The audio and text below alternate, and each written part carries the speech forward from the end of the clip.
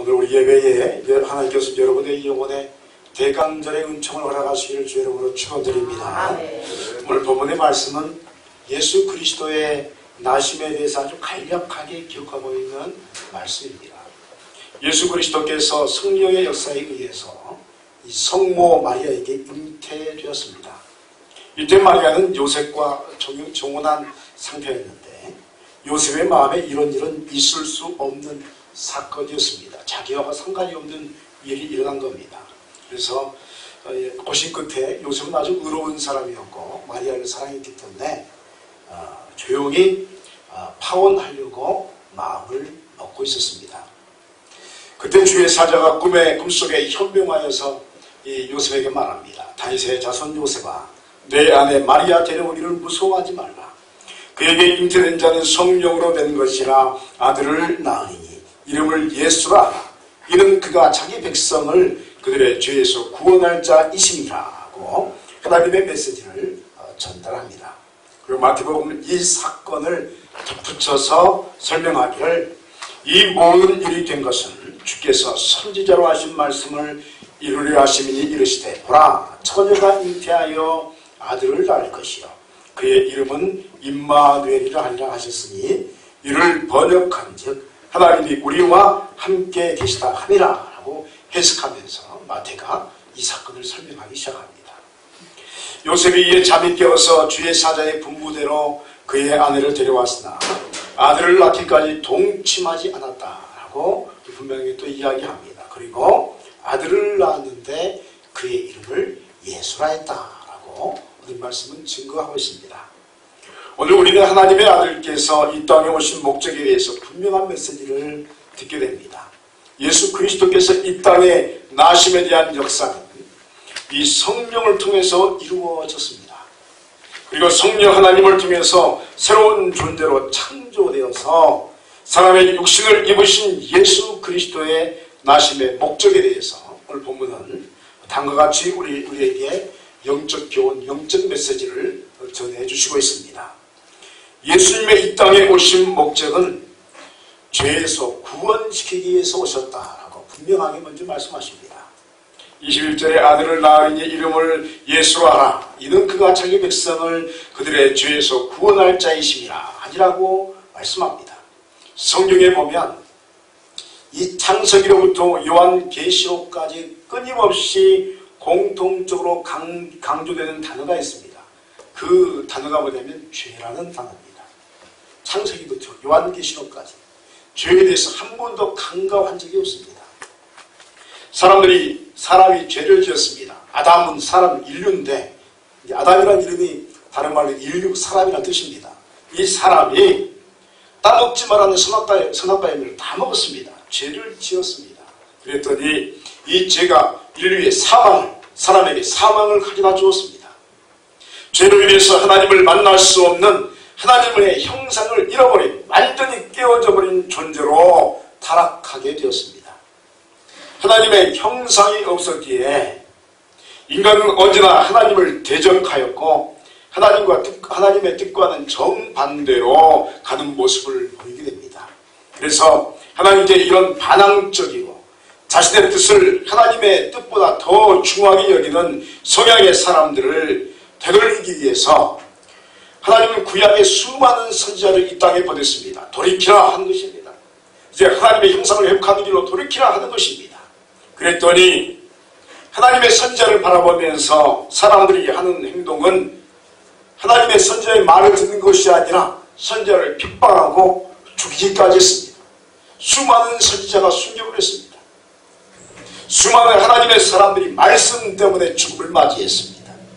말씀은 죄로부터 벗어나서 하나님의 뜻 안으로 들어오라는 것이었습니다. 이제 그만 하나님께 반항하지 말고 하나님의 뜻 가운데로 들어오라. 죄의 사망에 이르기 때문에 죄는 사망에 이르기 때문에 심판을 받은 영혼은 하나님께로 나올 수 없음을 끊임없이 이야기하는 메시지 앞에서 도리어 사람들은 이 메시지를 핍박하고 이 이야기하는 선제를 다 죽였습니다. 그래서 구약에 보니까 이 죄의 문제로부터 벗어나지 못하는 사람들을 바라보면서 이 죄로부터 벗어나게 하기 위해서 하나님이 또 다른 또 하나의 제도를 만들었는데 그것은 재단을 쌓는 거였습니다. 구약에 보면 번제, 소제, 속죄제, 속번제, 화목제라는 구약의 5대 제사가 있습니다.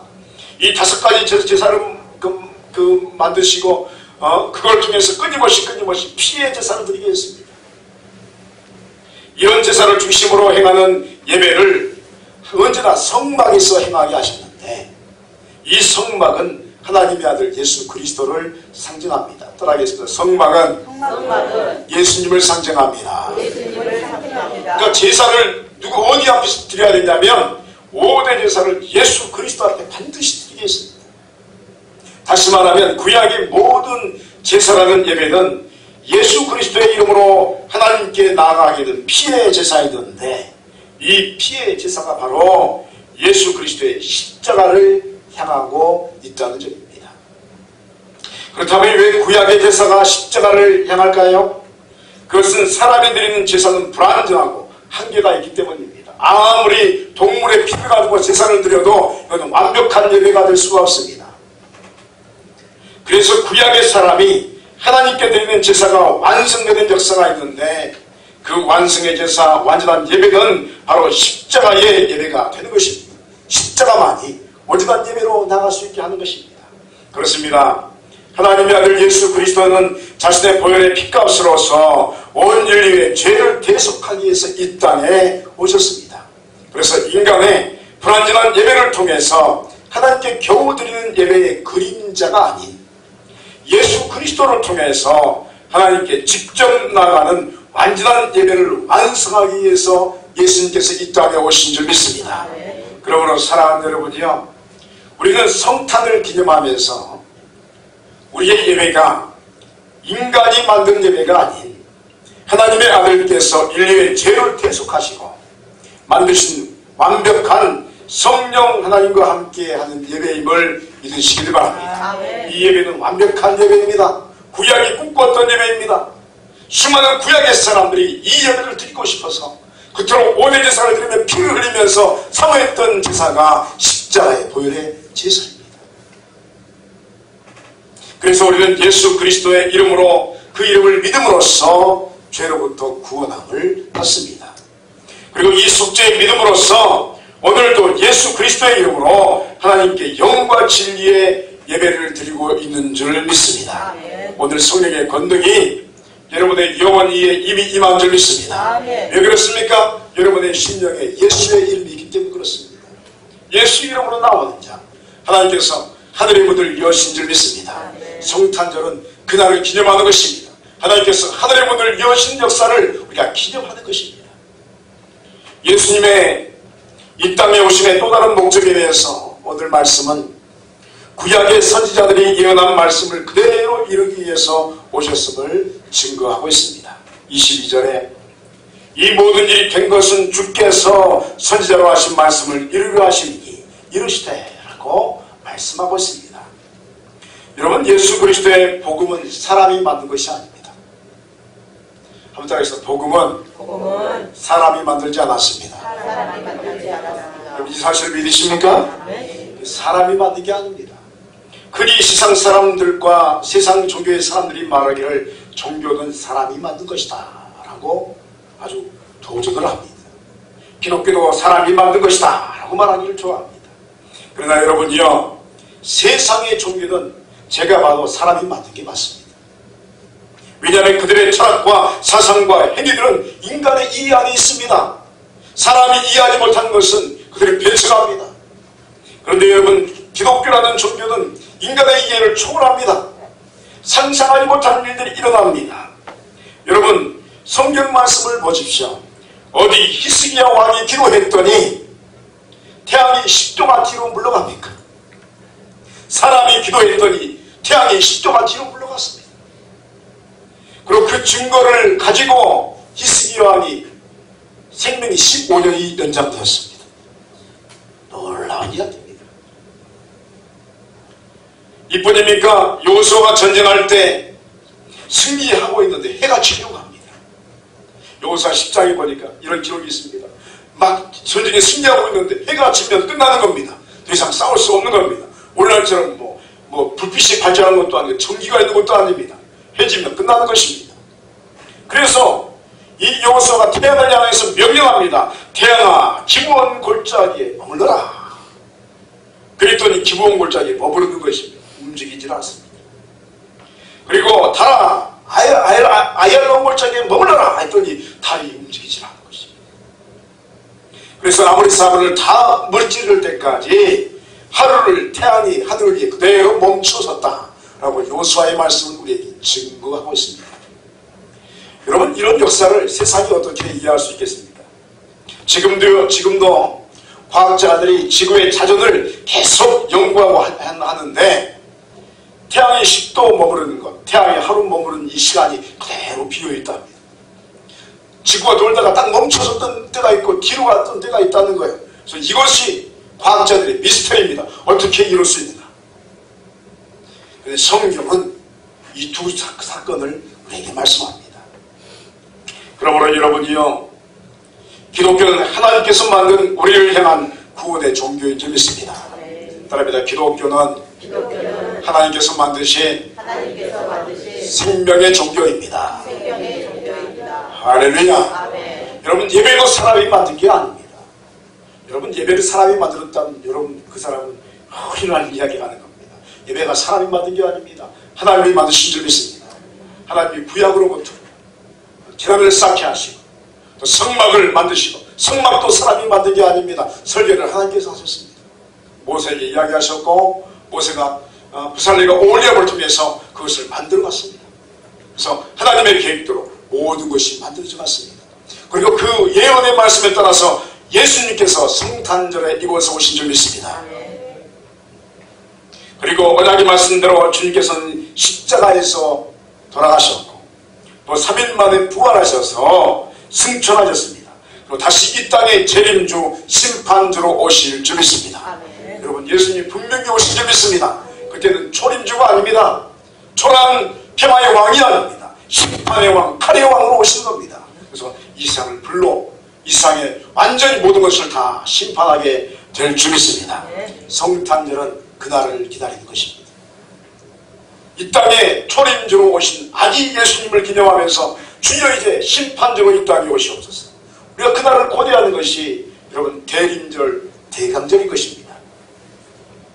하나님의 아들 예수 그리스도는 하나님의 말씀대로 이 땅에 오셨고 말씀대로 역사를 일으키셔서 말씀대로 모든 것을 완성시키셨습니다. 이 말씀의 의미는 무엇입니까? 여러분 우리의 모든 예수 그리스도의 제자인 줄 믿습니다. 아, 네. 여러분 모두가 제자인 줄 믿습니다. 아, 네. 제자에게 구원이 임하는 것입니다. 아, 네. 제자는 스승을 따라가는 것입니다. 우리의 스승 예수 그리스도는 말씀을 따라서 말씀대로 행하고 완성하는 삶을 살아가졌습니다. 그러므로 여러분이요 여러분의 인생 또한 말씀을 기준으로 말씀대로 모든 것을 이루어가는 인생을 살아가시기를 간절히 소원합니다. 왜냐하면 우리는 주님의 부름받은 제자들이기 때문입니다. 예수님의 이 땅에 오심의 마지막 목적은 오늘 말씀해 보니까 임마누엘 하기 위해서 오셨습니다. 23절에 보라 처녀가 잉태하여 아들을 낳을 것이요 그의 이름은 임마누엘이라 하리라 하셨으니 이를 번역한 즉 하나님이 우리와 함께 계시다 함이라 라고 말씀하고 있습니다. 예수님은 하나님의 아들로서 우리에게 오셨고 아들의 사명을 통해서 우리 모두를 하나님의 양자된 자녀로 삼으셨습니다. 이 양자된 자녀로 삼으셨다는 것은 우리에게 믿음이, 믿음이 주어졌다. 믿음을 주셨다는 의미를 상징합니다. 이야기합니다.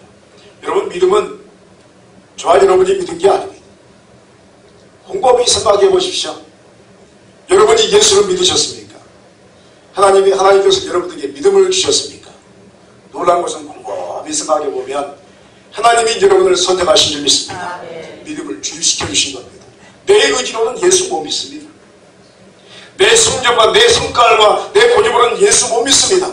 그런데 하나님께서 강권하셔서 은혜를 주셔서 여러분의 신념 가운데 믿음을 허락한 줄 믿습니다. 아, 네. 여러분 전도는 그런 사람들을 그냥 불러오는 것입니다. 여러분 예수님을 믿는 순간 우리에게 양자의 영이 임하게 된줄 믿습니다. 예수님께서 나라는 존재를 위해서 십자가에 못 박혀 죽으셨고 3일 만에 부활하셨으며 승천하셨고 다시 때가 되면 재림주로 오실 것을 믿는 신앙 고백하는 자에게 주님은 죄로부터 사함받는 은혜를 허락하실 줄 믿습니다. 그리고 하나님께 나가는 영생을 허락해 주시는 것입니다. 이 사실을 믿으면 구원을 얻습니다. 믿음은 이 사실을 믿는 것입니다. 구원은 하나님의 자녀가 되었음을 증거하는 표와 같습니다. 여러분 세상 사람에게는 666이라는 표가 딱지가 붙어 있습니다. 그러나 예수를 믿는 사람에게는 예수 그리스도의 보혈의 표가 여러분의 이마에 붙어 있는 적이 있습니다. 아멘. 여러분 그래서 그날이 되면 여러분 피가 있는 사람에게는 그리스도의 보혈에 피가 있는 사람은 구원을 받고 없는 사람은 사망으로 가는 것입니다. 이게 패스오버 6월절의 역사입니다. 그런데 놀라운 점은 하나님의 자녀가 되었다는 것은 예수 그리스도의 이름 안에서 또한 임마늘의 은총을 받아 누리는 존재가 되었다는 것을 의미합니다. 그렇다면 임마누이라는 뜻은 무엇입니까? 따라합니다. 하나님께서, 하나님께서 하나님이, 하나님이 우리와, 우리와 함께 계시다. 함께 계시다. 하나님이 여러분과 함께 하신 걸 믿으시기 아, 바랍니다. 네. 여러분 어디를 가든지 하나님이 나와 함께 하신 겁니다. 그렇습니다. 예수 그리스도를 믿으면 믿음을 통해서 하나님께서 우리와 함께 계시는 줄 믿습니다. 계실 뿐만 아니라 성삼일째 하나님께서 여러분의 영혼의 중심에 성소를 만드시며 그 안에 지성소를 허락하셔서 우리와 함께 동행하시며 함께 하시는 줄 믿습니다. 전능하신 주님께서 내 안에 들어오셨고 또 나와 함께 하셨고 무엇을 하든지 어느 곳을 가든지 늘 동행하신다는 사실은 우리에게 엄청난 일들임에 틀림이 없습니다. 여러분에게 믿음이 있다면 예수 그리스도의 이름만에 여러분의 영원히 있는 줄 믿으시기 바랍니다. 주께서 내 안에 계시고 내가 주님 안에 있는 것입니다. 그리고 동시에 예수 그리스도께서 여러분과 함께 하시며 여러분의 영혼의 가장 깊은 지성소에 성삼위 하나님의 임만의 복을 허락하신 줄 믿습니다. 바랍니다. 내 신령 안에, 성삼위 하나님께서, 임마누엘 하십니다. 할렐루야. 아멘. 여러분 무엇을 하든지 어떤 생각을 하든지 어느 곳을 가든지 3일차 하나님이 우리 안에 함께 하시는 겁니다. 놀라운 것은 우리의 호흡보다 더 가까이 계시는 겁니다. 그러므로 여러분이요 마음을 비워내고 회개를 통해서 여러분의 영혼을 정결하게 하면 여러분 안에서 말씀하시는 성삼위 하나님의 음성이 들리게 될 줄 믿습니다. 아멘. 이것이 예수 그리스도를 믿는 자가 받는 가장 큰 축복의 은총인 것입니다. 한 가지 분명한 사실은 예수 그리스도를 믿는 자들에게는 임마누엘의 은총이 함께한다는 사실입니다. 오늘 우리는 성탄절의 마지막 기간을 보내면서 예수 그리스도의 이름으로 주님을 부르는 자들에게 구원의 참된 말씀이 허락되어지고 이 말씀을 통해서 참된 예배가 허락됨을 듣게 되었습니다. 믿음을 통해서 우리는 살아 역사하시는 말씀을 제공하게 되고 그 안에 들어가게 됩니다. 그리고 말씀이신 예수님께서 우리 안에 역사하시며 예수 그리스도의 이름으로 하나님께서 우리와 임마누엘 하심을 깨닫게 되었습니다. 오늘 이 성탄의 근총이 임마누엘로 여러분의 믿음과 함께 하시기를 주 여러분을 간절히 축원드립니다. 기도하시겠습니다.